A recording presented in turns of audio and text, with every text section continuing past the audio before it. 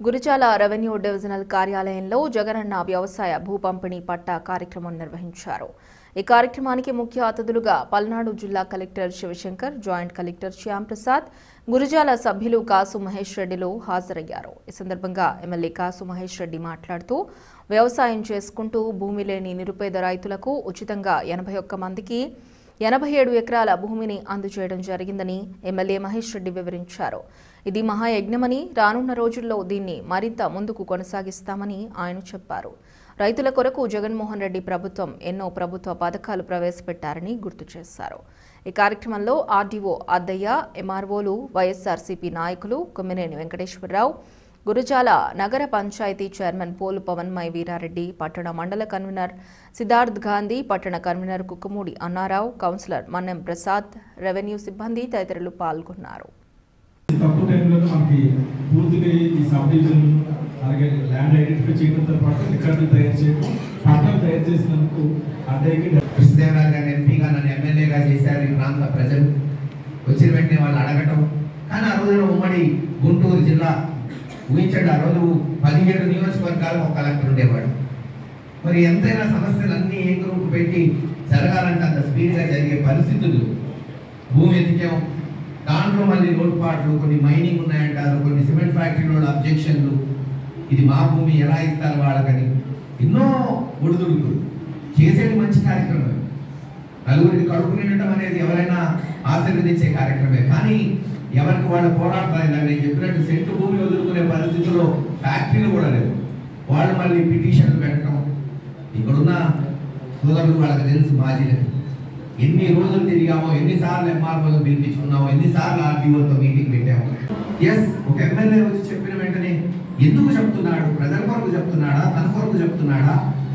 ఒక మంచి ఉద్దేశంతో ముందుకు వస్తున్నాడని ఆలోచించేవాళ్ళు ఉన్నారు ఈరోజు మన కలెక్టర్గా జాయింట్ కలెక్టర్గా వెంటనే వాళ్ళు రెగ్యులర్గా మానిటర్ చేయటం ఒక మనిషిని పెట్టి ఎమ్మెల్యే చెప్తున్న సమస్యలు ఏ గ్రూప్ పెట్టడం రివ్యూ చేసుకోవటం వాటన్నిటి ఫలితమే పదకొండు సంవత్సరాల మీ కష్టం ఈ రోజు ఒక పండగగా మీ ముందుకు వచ్చి నిలబడింది ఈ రోజు మీ పట్టాలి తప్పు కావచ్చు.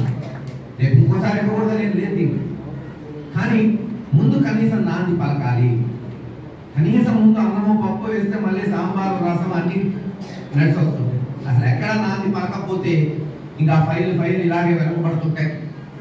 పోయి ఉన్న నియోజకవర్గంలోనే పద్దెనిమిది వేలు పై చెరుకు పట్టాలు అన్నది శాంక్షన్ చేయడం జరిగింది.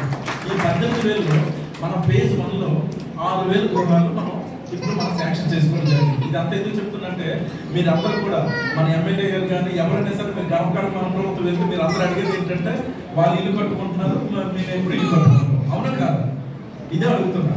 సో దీనికి ఒక ఒక ఒక మంచి పరిష్కారం ఉన్నది మన ఎమ్మెల్యే గారి వల్ల దొరికింది. అదేంటంటే మనకు హౌసింగ్లో ఆ స్కీమ్లో ఏంటంటే అర్బన్ లోకల్ బాడీస్ కానీ అర్బన్ డెవలప్మెంట్ అంటారు కానీ రెండే స్కీమ్స్ ఉన్నాయి. యుఎల్బి యూడిఏ అంటారు అందుకే మన జిల్లాలో ఇరవై ఎనిమిది మండలాలు ఉన్నప్పటికీ కూడా ఇరవై ఎనిమిది మండలాలు ఎనిమిది మున్సిపల్ కార్పొరేట్ మున్సిపాలిటీస్ ఉన్నాయి.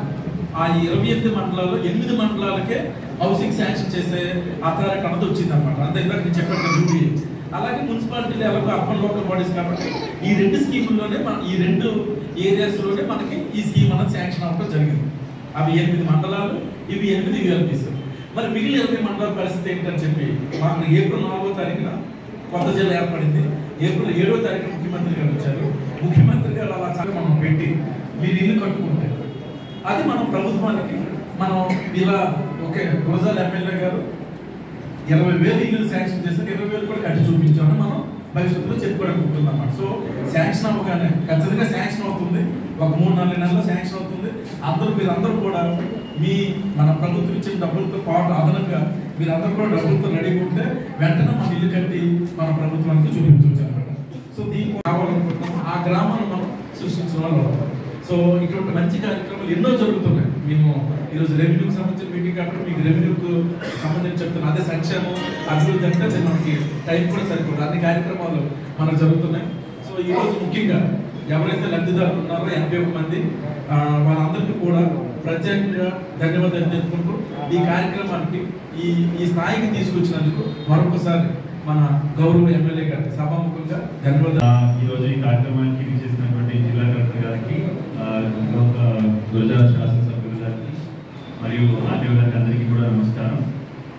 ఇప్పుడు ఇక్కడ వచ్చిన ప్రజలందరికీ కూడా నమస్కారం అండి. ఈరోజు మనం అసైన్మెంట్ పట్టా ఇచ్చే కార్యక్రమంకి ఏర్పాటు చేసుకున్నాం గురుజాల నియోజకవర్గానికి. సో ఈ కార్యక్రమంకి కర్త కర్మ క్రియ అంతా కూడా మన స్థానిక ఎమ్మెల్యే గారు కాసు నాగేశ్వర రెడ్డి గారు. ఎందుకంటే వారు ఎప్పుడూ మాకు ఇది ఎలాగైనా సరే ఇక్కడ చాలామంది ఎస్సీ ఎస్టీ బీసీ రైతులు ఎప్పటి నుంచో సాగులో ఉంటున్నారు.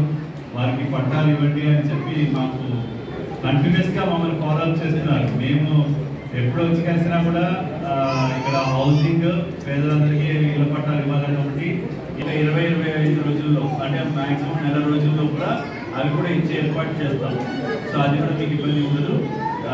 దాన్ని మీరు కంటిన్యూ చేసుకోవచ్చు. అండ్ ఇంకా మనకి భవిష్యత్తులో రెవెన్యూ పరంగా ఎన్నెన్నో ఇష్యూస్